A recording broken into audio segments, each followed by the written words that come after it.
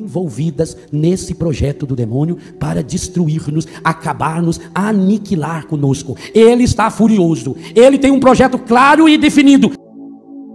E o padre Roberto lembrava que hoje as declarações oficiais do Vaticano.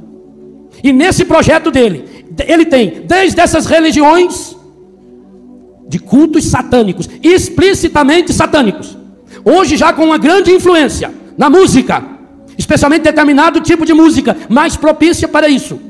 Nós sabemos que há um tipo de rock que é profunda e absolutamente satânico, que prega o mal, que elogia Satanás, que elogia o demônio, que tem frases inteiras de adoração ao demônio, que tem rituais de adoração ao demônio nesses shows de rock. Nós sabemos que o próprio funk tem muitas e muitas influências malignas e que isso vai entrando no ouvido da pessoa e a pessoa depois não sabe por que, que ela se transforma.